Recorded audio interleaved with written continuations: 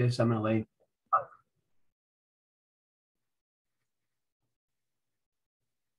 It has taken a village to put everything together for you today and for the next few days. Please remember that all sessions will be recorded and available for you until February 28th, 2022. First, I would like to thank the conference committee for putting this event together. The committee consists of Sister Mary Helen Kashuba, Thomasina White, Melissa Moran, David Brightbill, Katie Gear, and myself. Then I would especially like to recognize Dr. Richard Madel, who has been the engineer, the architect, the major operator, and tech guru in the planning, the communicating, and the executing of this virtual conference. We will be forever indebted to him. Here, here, Rich. Before we begin, I would also like to send a warm welcome to all of you, especially to the 13% of our total registrants who are war language student teachers. They are our future. And furthermore, I'd like to extend an invitation to each and every one of you present here today to get more involved. We need more teacher leaders to join PSMLA and to share their talents and their energies please consider becoming more involved with our association. If you have any questions on how you can contribute more to world language education, feel free to please contact me at john at psmla.org. Also, please remember that our Pennsylvania Language Forum, our journal, is always looking for articles or lesson plans that excite and motivate our students and our teachers. Please share your ideas and your lessons with us so that we can share them with all of our members so that their students can become more successful and engaged in learning a new language. By the way, save the date for next year's conference, which we anticipate will be live, face to face, yes, in Lancaster. The date for next year's conference are October 13th through the 15th 2022. And please visit our website often. We offer many uh, professional development opportunities and awards and other things at www.psmla.org. Next, I would like to introduce Dr. Rich Madel, who will briefly walk us through some of the highlights of the conference program, and then he in turn will introduce our keynote speaker, Rebecca Blouwolff. Rich. Gracias, Presidente. De nada. Um, so I don't want to take for granted that this format is uh, is comfortable for anybody, uh, and so I really wanted to just make sure take just a, a brief moment to kind of walk us through and make sure we felt comfortable with how the the conference is organized. Um, we all received a version of the conference program um, perhaps one of the most useful pages of this program is going to be the table of contents. This table of contents is uh, interactive, so it'll take you wherever you need to go. So for example, if you were to click on the schedule overview, it will give you a sense of what we have on any given day. So for example, today, some of you may have gotten to our opening session by clicking on the opening session and clicking on the title of the session itself. At the footer of all of our conference pages, you'll have the option to return to the table of contents and it'll send you right back. So tomorrow, for example, you can go directly to Thursday's concurrent page at four o'clock. And from here, you can click on any title and it will send you directly to any session at any given time. At the footer, you'll also have uh, some important forms that will help you get credit for this conference. For example, your Act 48 form is at the footer of all of our conference pages. We appreciate the feedback that you can provide for any of the sessions that you attend. So the session evaluation form is here as well. And if at any point you have any questions, concerns about technology or about how the conference is organized, you can fill out this form that will notify a conference organizer uh, and that will make sure that we can get back to you as well. Lastly, you will also find a page here where you can engage with the conference uh, exhibitors and sponsors. Um, and on these dates in particular, there will be representatives here that you can that you can engage with. You can learn a little bit more about what they have to offer. You can ask questions, whatever you'd like to do. We will record attendance of those sessions, and at the very end, we will raffle off 10 $25 Amazon gift cards as a little bit of an incentive to, uh, to say hello and show some face to our corporate sponsors. Um, so with that being said, I think that just about does it for the orientation. At this point, I really have the distinguished honor to present to you our opening keynote speaker, Rebecca Blouwolff. Um, over the years, I have gotten, uh, I've been able to familiarize myself with Rebecca and her body of work. And I am sincere when I tell you that she is as generous as she is thoughtful with the work that she shares with the field. She truly embodies the theme of this conference, and that is bridging differences with languages.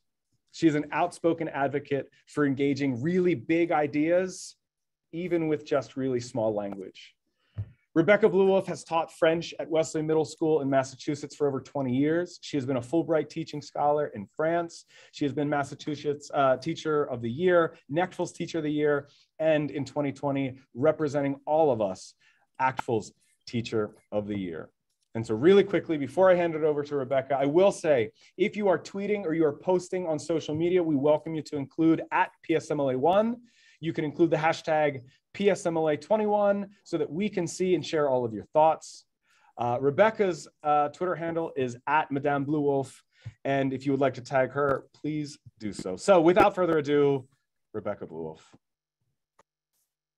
Thank you, Rich. Thank you, John. Hello, Pennsylvania, all the way from Massachusetts. It's a beautiful sunny day here, but I heard you have sort of a more drizzly thing, which is probably better suited to spending your afternoon attending a conference. So hopefully I'm not taking you away from any sunbathing, etc. And since we're a pretty small group, I just wanted to invite people if you want to just drop in the chat um, your first name and the level and language or languages that you teach or that you are preparing to teach. I was really excited to hear that we have some maybe future teachers in the crowd. I just modeled that in the chat, and it would be great to get a sense of who's out there so we can just, just take a minute to introduce ourselves. I'll get the slides set up while you do that.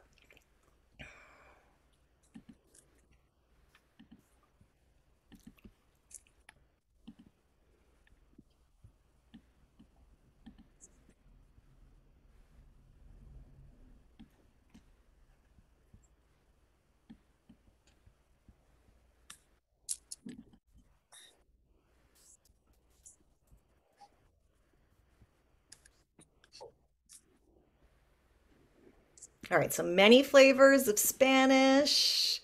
We've got some German, middle school Chinese. I am the mother of a middle school Chinese student.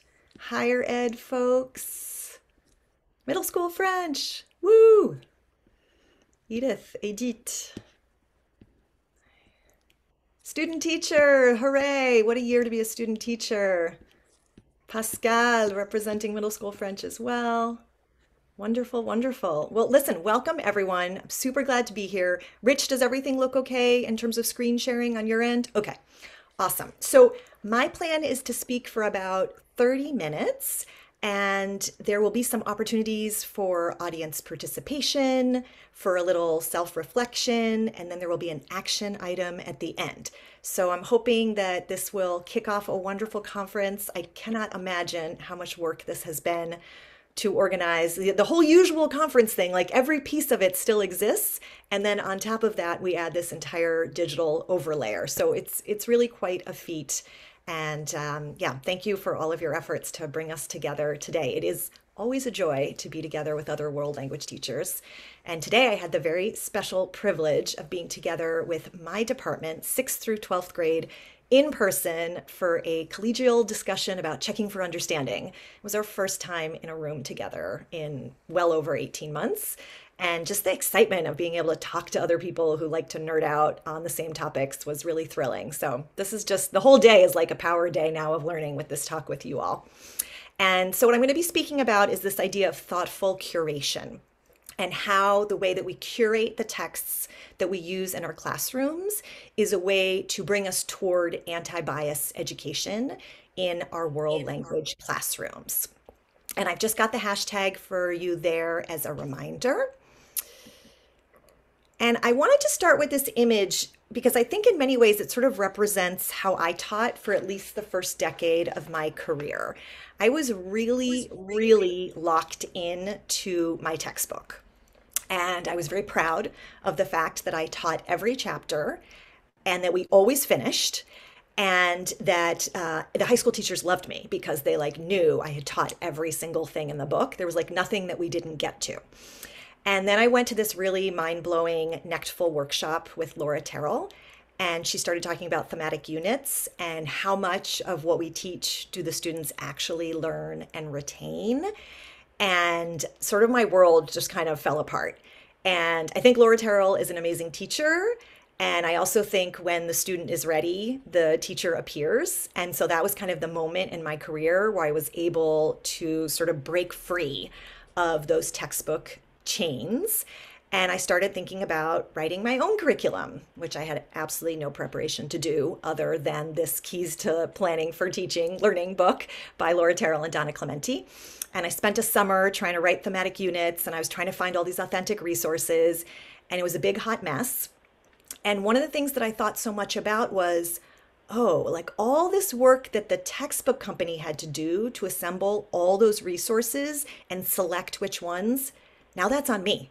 Now I have to be the curator. And it's uh, like all those little culture boxes that I hated and the stereotype about Haitian people on this one page that was really appalling in my Discovering French textbook.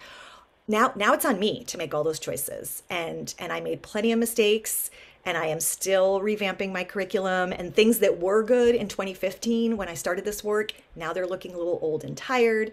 So it's certainly not a job that's done.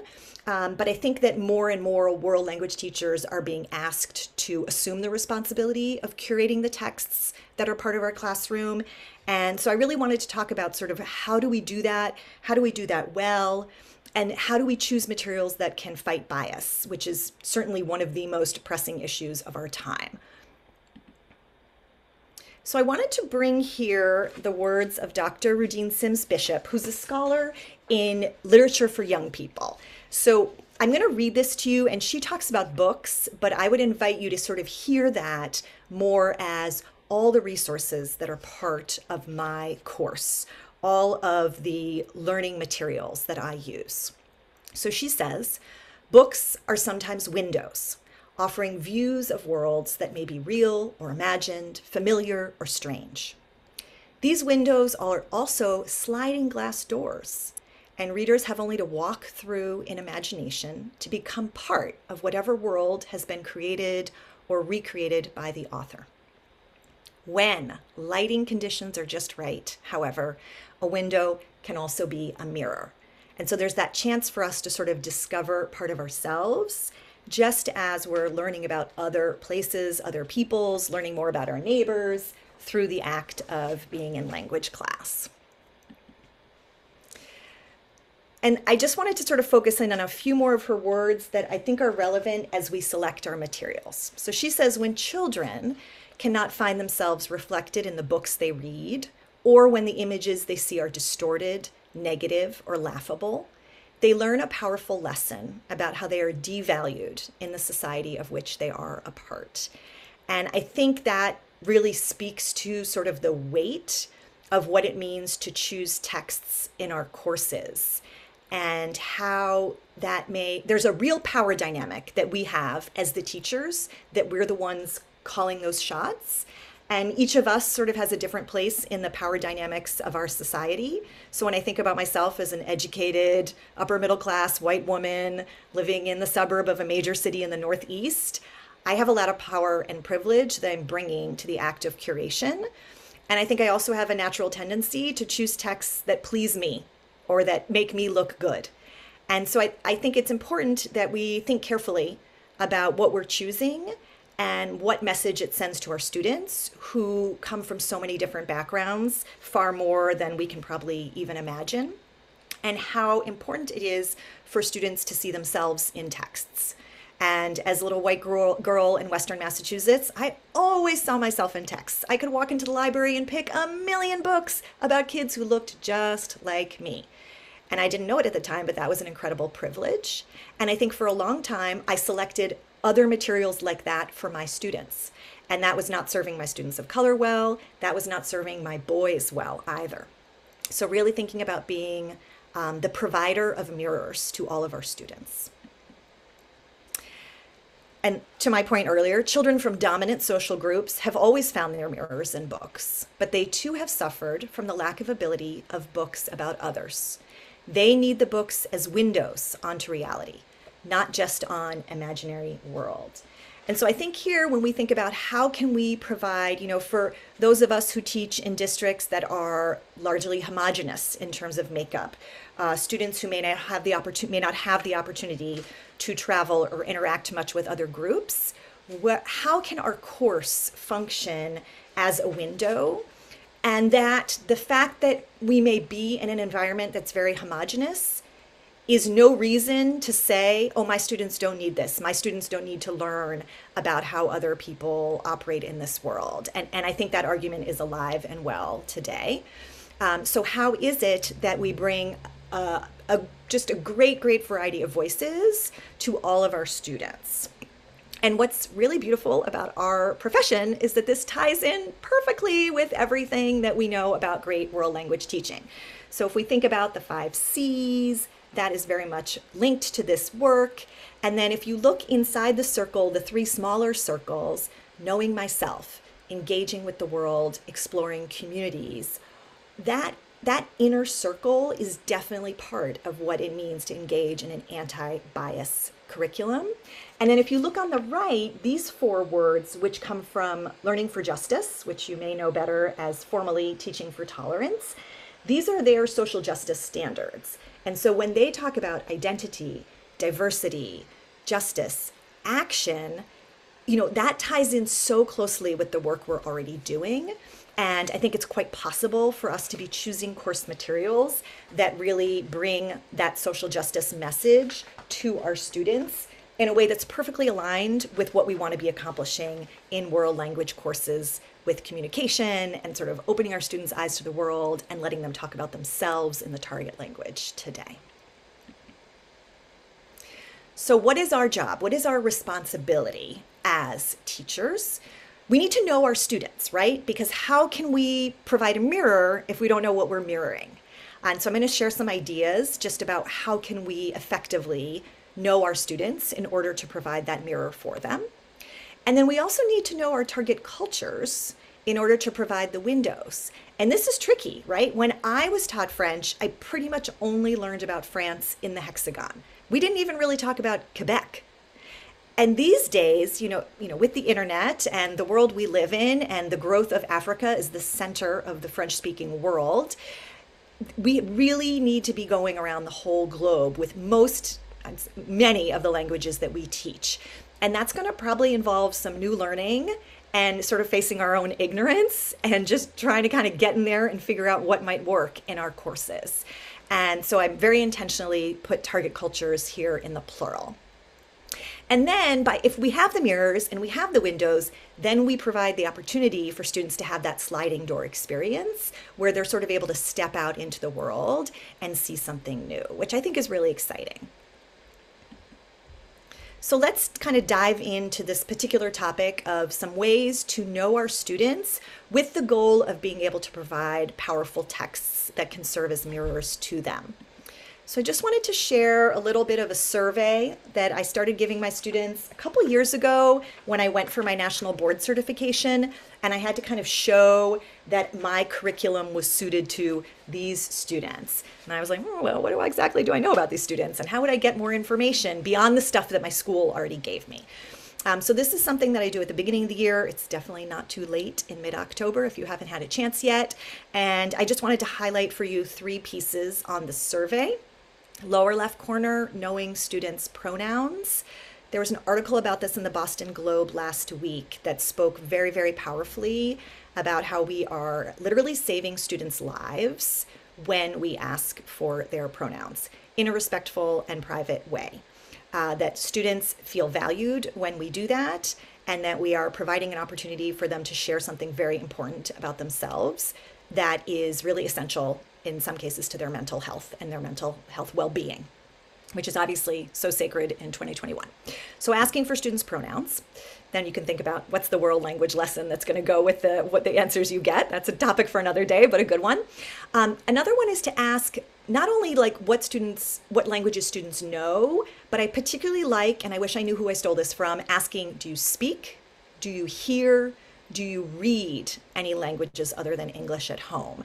And the reason I like asking it this way is I often learn that many of my students are sort of passive bilinguals to parents who are speaking a Chinese language, an Indian language at home.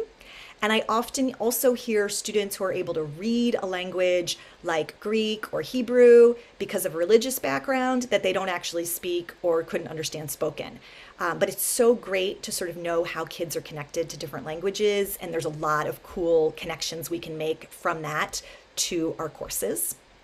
And then I just, I love to include a really open ended question, something I want my teacher to know about me. I kind of think of this as like a Rorschach because you just get back whatever the kid wants to tell you and you have no idea. So some of the ones I got this year, a student shared with me that he's Muslim, um, which is a very small minority group in our community where I teach. One student shared with me that his father is a neurosurgeon. And at first, I thought he was kind of trying to show off. And then I understood that this is a child who's very concerned about his father's health because of the COVID pandemic, uh, which has helped me understand some of the mental health challenges he's facing this year. Another student wrote to me, I'm not good at reading aloud. And that was actually great for me to know because I have a habit of just calling students randomly to read aloud. And I knew with that student that I was going to want to have a one on one conversation with her before I did that so that she would feel safe in my room and that I was going to let her kind of take the lead on when she wanted to read aloud in my class. So, just some ideas about getting to know our students. Of course, our students come from home environments. And so I also really um, have found it incredibly valuable to send home an introductory letter, paper copy, digital copy to parent guardians, and to hear really acknowledge them as the experts about their children and sort of open up that in my classroom, parents have a voice and I, I care what you think, uh, which I think buys you a lot as the year goes on. And you may need that currency for other things that may happen throughout the year.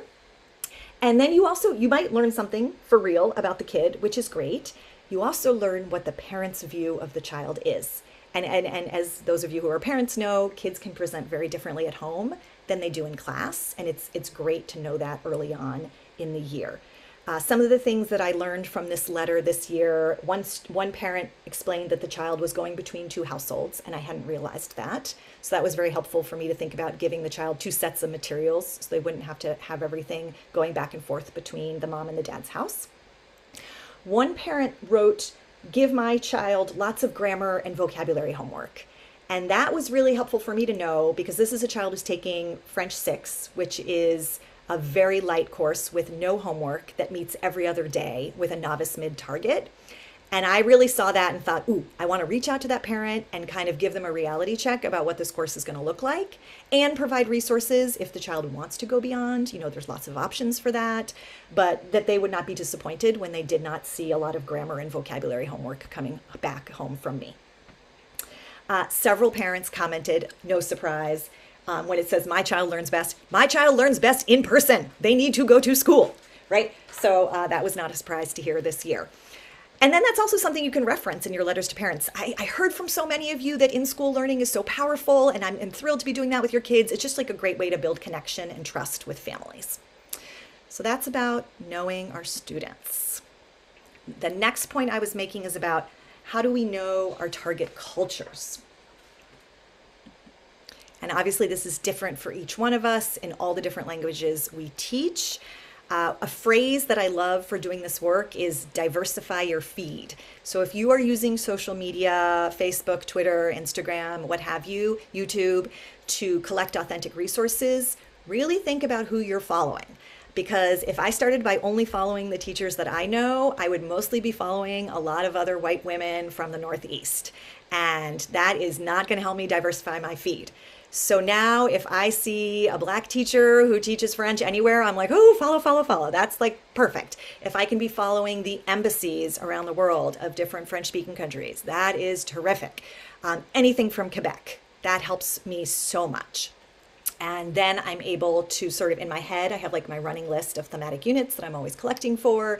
And as I'm scrolling, my scrolling has a point, right? I'm not wasting hours on social media. I am curating and looking for perfect resources that I can plug in asking for help. If you know what you're looking for and you can articulate it, people want to help each other. And so if you're not on Twitter, I really can't say enough about it. Using this hashtag LangChat with any sort of question is really kind of magical. Maybe you wrote a thematic unit where you you wrote a learning target that students were going to be able to understand names and ages from a video about introductions. And now you only have one video about introductions, and it's like all white kids from Paris, and you need to spice it up. Okay, so this is your chance to reach out. I am looking for diverse speakers of French introducing themselves. Could anyone share a resource with me? Hashtag LangChat. And that can be a really great way to not dig into the whole mess of the internet yourself and find something that's worked for another teacher in their context. Adding a place name to your Google search can help a lot. And then obviously there's lots of pre-curated resources. So if you can find a teacher whose judgment you trust on Pinterest and kind of dig through their stuff, Leslie Grahn is always one of my favorites for that. That's a wonderful, wonderful place to start. And then I wanted to share this diversity wheel, which is from Johns Hopkins University, that just shows, you know, I think when we think of diversity, probably each of us goes to a certain set of categories. And I really liked here that they brought in religion, income, gender expression, political belief. And, and you know really taking the time to sort of go through our courses. I noticed this is color coding. Maybe there's a little color coding happening in some of your lesson plans. When are the moments in your course that these different identities are are made visible to your students and are valued and are respected and are present This is not a real rule, but I have an awesome colleague at the high school whose name is Maria Di Pietro. And when she and I were talking about how I was going to diversify my French curricula at the middle school, she gave me this idea of the rule of three. And basically, the idea is if you're going to represent a place, particularly a place with which your students are not super familiar, instead of giving them one school in Burkina Faso, which then will become, oh, I know about school in Burkina Faso, I've seen one school, that is it, can you try and give them three so that they're seeing some diversity within the place? Now, I teach novices. We're not going to do three places and three in each and have it be nine. That is too much for us. But maybe in the school unit, I say we're going to talk about France and we're going to talk about Burkina Faso. And in the food unit, we're going to talk about Quebec and we're going to talk about Senegal. I find for middle schoolers, and particularly United States students with very limited education in geography, two places is about what we can handle. Sometimes I tried to be fancy and do like one from each of five places. And then I would start hearing things like, wait, was that in Cameroon or Quebec? And I was like, okay, that should be really clear. Like, those are not two places we should be confusing with each other but it was it was just a little bit much for uh, kids at this level with that limited knowledge of geography to be doing so many places. So I think we want to get to lots of places around the world, but let's go a little deeper and try to um, provide some depth. And I'm going to be honest, I didn't do Burkina Faso for my school unit. I looked up two of these three two nights ago, and it took me like three minutes to find two more. It was not hard. And these are novice friendly resources. Another way to approach this, if you are in a systematic department that organizes such things, would be to think about could every year of the course focus on maybe two places? And then for every unit, you know, I'm looking for examples from Senegal and I'm looking for examples from Quebec or whatever it's going to be. And next year, they will do France and they will do Cote d'Ivoire or Algeria or whatever it's going to be. Um, but I think that's a, you know, just to try to get us a little bit out of our places of colonizing the language and really around the world into the diversity of where that language is spoken.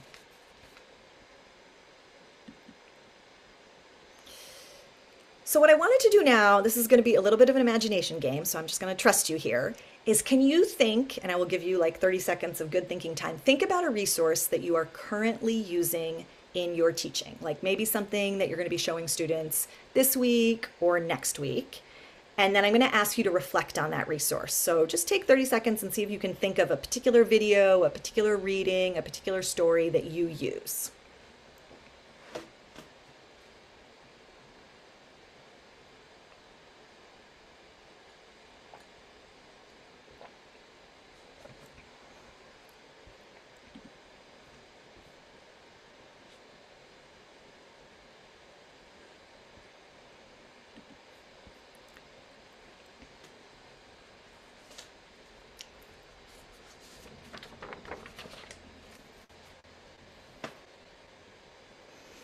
Okay, so I'm a super concrete person. Teaching middle school probably doesn't help, and I just want to try to run your resource against a series of questions.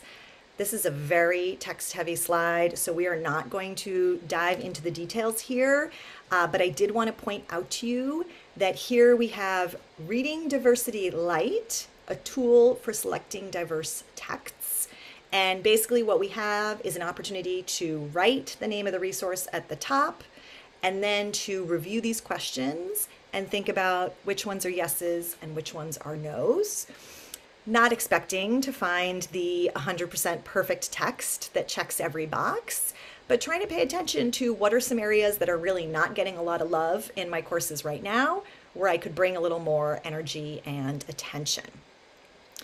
So I wanted to take a look at a piece of this slide uh, and then another piece of the list separately. And the beginning of this very much recalls the diversity wheel that we saw a bit earlier. So, thinking about what are the voices in this text race, ethnicity, gender, class, age, ability, religion, place that's our around the world, immigration status, LGBTQ identity. And then thinking about will those experiences or identities sort of contribute to the student's overall experience? So, how's that going to add to the collection that we're building in the course? Um, does this text accurately reflect lived experiences? And here I just want to own this is very tricky, right? To be an expert in all the target cultures of your language is impossible. And as the curator, you are trying to use your best judgment about whether or not this seems accurate. And I certainly know whenever anyone's interviewed me for anything, afterwards I look at it and I'm like, oh, that's not exactly what I meant, or that's not quite what I said. So we're always a little bit off from where we're heading. Um, but, you know, we want to try to do the best we can. When we think about the beliefs within the text, we can also be looking for is the author promoting inclusion and equality? Like, what's the message of the text? Um, is it relying on stereotypes? Does it address a stereotype without sort of believing in it? And then also, who's left out? You know, and I think that's hard to see, right? Our books are full of people and places. Who who do we not see? Who is missing? Um, and again, I think having something like a checklist or the wheel can hopefully help us pinpoint some groups that we really want to target to bring into the course in a more substantial way going forward. If we just take another slice of that big list, um, we've got here this idea of mirrors and windows connecting to the interests of our students, right? I think, you know, I'm a 47 year old woman. The things that I find interesting are not interesting to 11 year old boys.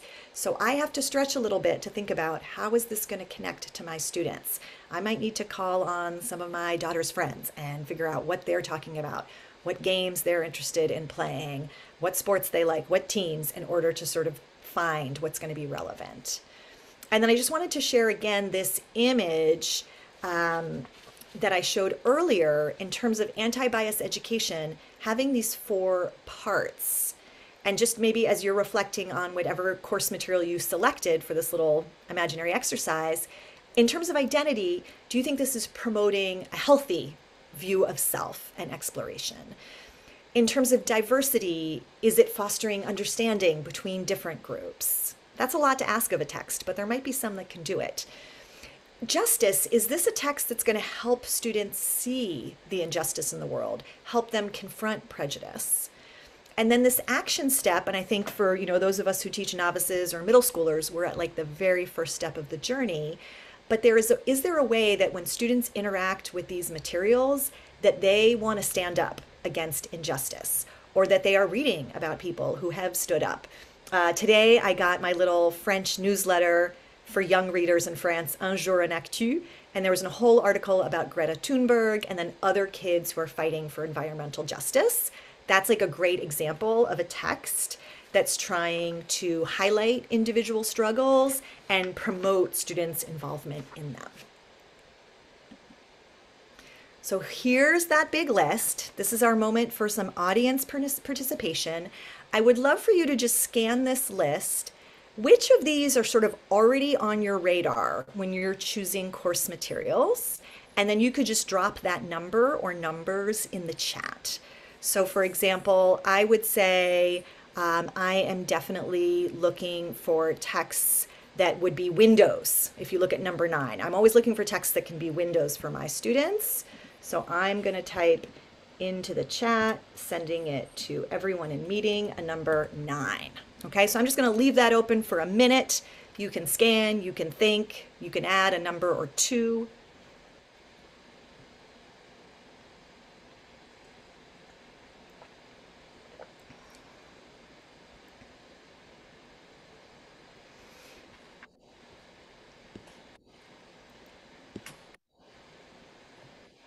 People are definitely looking to connect with their students' interests.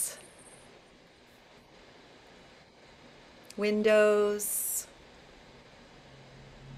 Does it accurately reflect lived experience? That's so important. But if we don't have direct knowledge, I think that can be an intimidating one.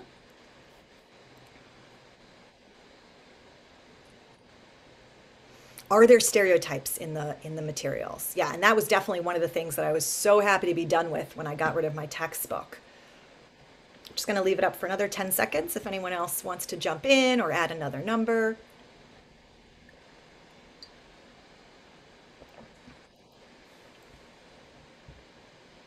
Awesome. Great. Okay. Thank you. Thank you for your participation.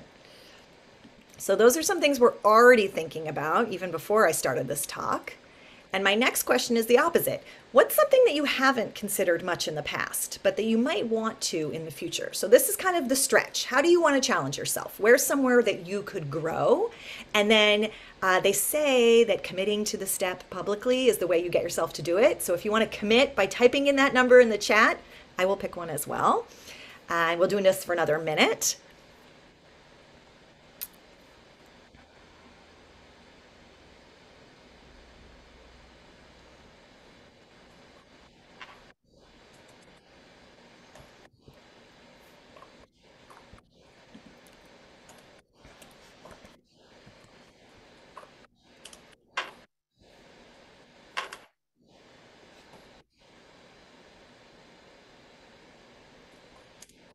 People are looking to pay attention to the gaps, which is definitely challenging. I commend you.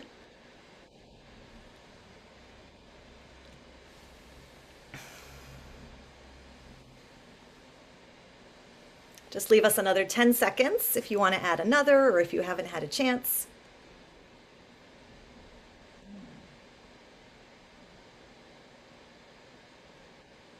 Great. All right. Thank you. Well, I hope that will be a first step. And just for those of you who said you want to consider the gaps and silences, I would just point out that doing this work with someone else can often be a way to surface that. That if you talk with someone else, they might very well notice something that's missing that didn't jump out to you. So just a, a, a plug for working together, working smarter, not harder. Okay, so I just wanted to introduce um, a resource that I found very helpful that I discovered through my school called The Seven Forms of Bias in Instructional Materials. And I'm just going to go through this quick um, just to give you a sense of what's in there. And it's certainly something you can easily Google and come back to on your own. So the first one, again, to those of you who chose kind of looking for the gaps in the silence is to think about what don't we see? And there's some groups listed here who tend to be absent from our materials. And what I like about the setup, these materials came to me from our school librarian, Sarah Chessman, who adapted them from the Sadker Foundation, is that there's this questions to consider. So when you look at materials, you can ask yourself, who is represented? Who is missing? And then if there is bias, how will you address it? So it's not how will you burn this material and never use it again, but what can you what can you do with this that will allow it to sort of be an organic part of your course without pretending to represent everything about the target cultures, for example. So paying attention to invisibility. I wanted to share this list from Julia Koch, who's your neighbor in New Jersey, who has this diversity and inclusivity checklist, not unlike the diversity wheel, that might be a way to sort of go through and just think about, you know, do you have anything that addresses immigration status? Do you have anything that uh, addresses physical disability? Do you have examples of rural, urban, and suburban language users, etc.? So you might check that out as a resource. Then our second one is about stereotyping. And we still see lots and lots of stereotypes. Some of my favorite French media resources have some really awful stereotypes in them still. Um, stuff that I am pretty proud to say you would never see in an American educational publication, but you still might see in a French one. So just noticing stereotypes, and then again, how will you address them? It doesn't mean that that's never part of your curriculum, but trying to, you know, be upfront with students, ask them sometimes to see what they notice, and then talking about it. Imbalance and selectivity is the idea that you're getting part of the information, you're getting one perspective, and that there might be some important perspectives missing. Okay. For example, I love this one about math and science courses typically reference European discoveries and formulas, right? I think that's probably also in our courses typically represent represent European made art and music. So how do we broaden that? Then the next one, and I think this is tricky in world language because often I think there's an expectation um, that we teach the fun class, and so we shouldn't be too heavy. And so we don't want to have that let us turn to rose colored glasses and putting um, sort of a film of positivity over things that can be really ugly and problematic. And so just trying to find that balance that we're not glossing over realities, but we're also not terrifying or paralyzing our students, particularly at a time when they're already pretty traumatized and are living through a pandemic, right? So that's that's a tricky balance. This next one, and if you have taught from a textbook, you probably know it, is that idea of like the special chapter. Or I think I was mentioning, I used to have this textbook, French textbook, where there was one page about Haiti. And I still remember there was a sentence in it that said, Haitians are happy, artistic, and hardworking people. And that took like a 20 minute English language conversation with my students to unpack. And it was just like, oh man, why, why do we have this page? I should rip the page out of the book at this point. Um, so just trying, you know, trying to be honest with our students and trying to think about how do we make this a holistic experience that we're not waiting for Black History Month to talk about African American cultures in our class, for example. Linguistic bias. Now, this was not prepared for a world language teacher audience, but certainly thinking about how do we bring the diversity of linguistic variations into our class, a diversity of accents, thinking about words in the languages that we're teaching that may have offensive origins that we want to consider as we talk to our students. And then the last one is cosmetic bias or shiny covers. So if you're old enough to remember the old Benetton ads, this might speak to you. But this would be, you know, the idea where the book has actually I don't know if anyone's here on, for my district, but every year our superintendent opens the year with a slideshow about our district that has all these pictures of racially diverse children who are not from our district, which is majority white, that are in the background. And like it looks great, but it's not, it's a total shiny cover that does not represent the truth of our district. Um, and so just kind of thinking about like, is there genuine equity or is this an illusion of equity? And I did want to take a couple minutes to speak about a cause that is very close to my heart, which is cosmetic bias around the month of December and the way that world language teachers talk about holidays in December. my experience is that this becomes a major, major time to talk about and sometimes celebrate Christmas in schools that are not religious schools. So if you are teaching in a public school or a secular school, I would really rethink the idea that December is the time to talk about holidays because we usually want to do this in December because it is the month of Christmas, okay? December is not an important month on the Jewish calendar. And in Islam, it's a lunar calendar with the holidays rotating all 12 months. So there's no one holiday that's always in December. So trying to respect the authentic calendars of different faiths really requires talking about holidays all year long. And if you are a person for whom Christmas is really important, this might re- really require quite a big cultural shift. You might not be thinking about major holidays the first two weeks of school. That's when the Jewish holidays, the major Jewish holidays, fell this year. You might not be thinking about other major holidays in the spring, okay? But that's when we've got Passover. So it's just, um, I think sometimes we try to make it okay by adding in Christmas, adding in Diwali, adding in any um, Eid that might be falling in December that year. Um, I would argue that's really a cosmetic fix on a deeper problem. And I love this tweet. If you don't follow Natasha, you definitely should. That including diverse texts alone is not anti racist. So we can recognize our students' identities, we can expose them to diverse voices, but that is different than actually fighting racism by teaching against white supremacy. And so one of the examples, when I read this, I was kind of like, whoa, mind blown. And then I also was like, where do I start with sixth graders with this? And I loved her first example was, so when we talk about French being spoken in North Africa, we need to talk to our students, why are people speaking French in North Africa? How did that happen? Oh, okay. Violent colonization, right? And sort of making sure that we're really upfront with students about the power dynamics that have contributed to the map of the languages as they exist today. I just wanted to give some concrete examples because there's no good conference presentation if you don't have concrete examples from the classroom. So this is a book I absolutely love. It's about dandies in the Congo. Um, and I love the geographic diversity that it brings in. It's a very different view of West Africa than my students tend to have, but it's too hard. The text is really complex. So, a way that you might handle that would be to write a teacher version paraphrased of the story and then, for example, tell the book, tell the story with your own words and the pictures, and then have students do some exercises where, for example, they're rearranging the text, showing that they understand it. I like the Textivate website for that. Thinking about art as an authentic resource can be a really nice way to fill in some gaps if you're having a hard time finding materials. So, diverse families can provide a mirror and a window experience this is an example from my sixth grade classroom where I share paintings from the French speaking world, like this painting of a family from Haiti, as a way to just talk about different families, who's in the family, what's the climate. Do you think this is a painting from today or from the past? And when I first heard that art could be an authentic resource, I kind of resisted it because I was like, there's no text. How can that be? And Leslie Grahn put me in my place and let me know art totally counts and you can uh, elicit tons of language from students by talking about art. So I say go for it. I'm a convert.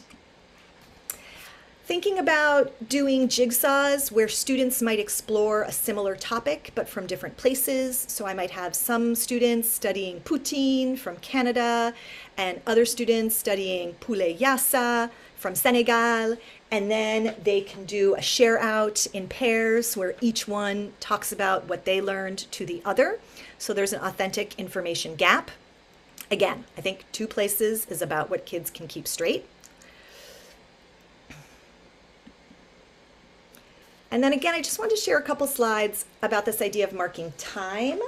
I mentioned earlier sort of the December holiday dilemma. And I just wanted to share again, in the spirit of concrete examples, this was an email that I got last December in my school from our Diversity Equity Action Committee.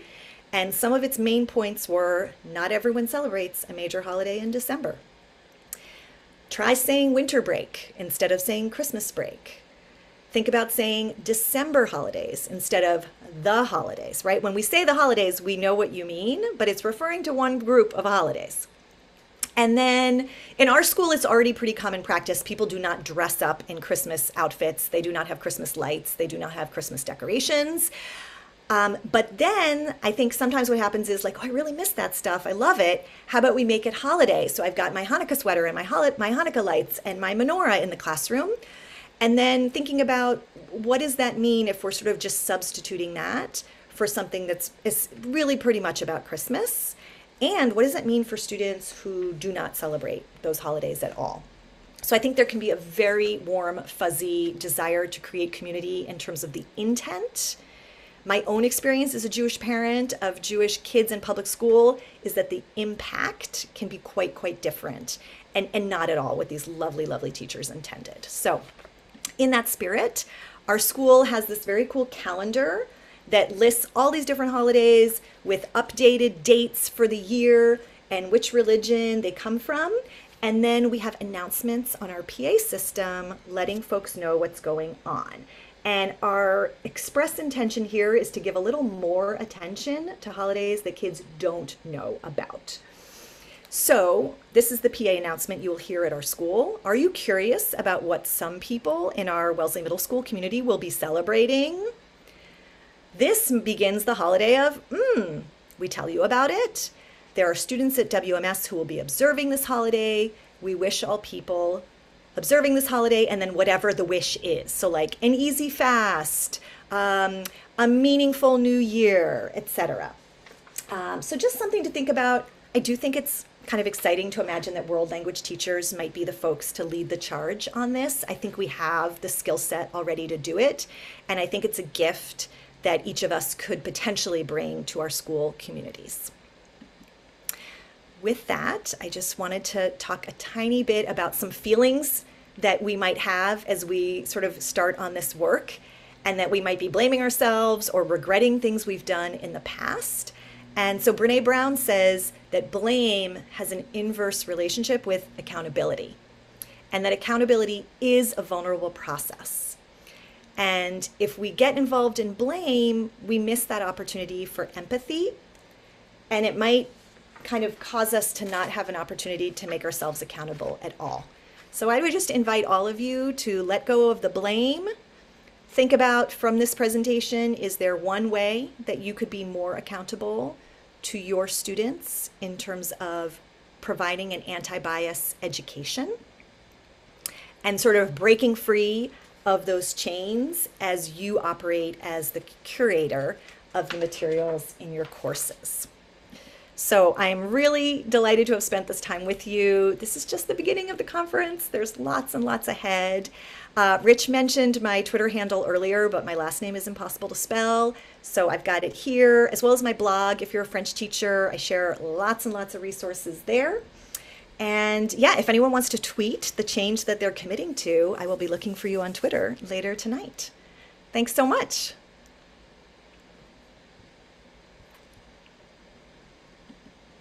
Nothing beats that silent clap. All right. Rebecca, merci, merci. What a pleasure to host you. Um, I think I think this session is absolutely a great place to start, and certainly on brand for the rest of our conference. Um, at this point, uh, I I recommend, and I'll put in the chat as well. If you would like to, uh, would like to fill out the session evaluation form, you can find it in the chat.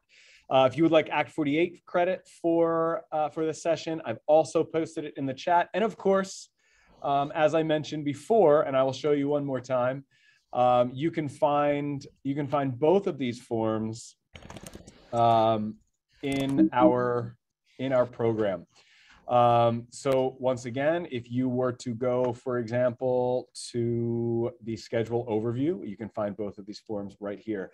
At this point, um, as we close this session, um, we will have some conference organizers present in the uh, support rooms. We'll be here for one hour. So if it is 4.55 right now, I'll say we'll be there till just before six o'clock. So you can feel free to pop in if you have any questions or any concerns. If you are a presenter specifically, there'll be some folks in here. And if you're an attendee and just want some help getting around the conference, we will be there as well. But otherwise, thank you very much for everything, Rebecca and everybody here. And I look forward to seeing everybody very soon. Thanks. Thanks, everyone.